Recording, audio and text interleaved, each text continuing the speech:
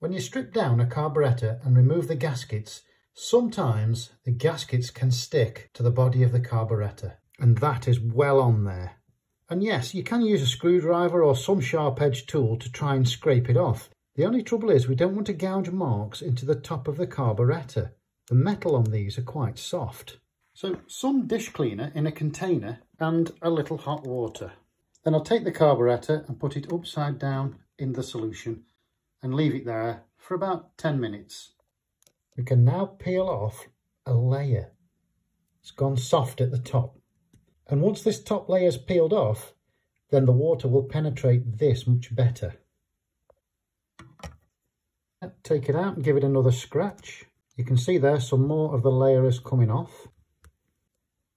And then after a few times, you can even start to scrape it off with your nail. So there we go, soaked it for around 25 minutes.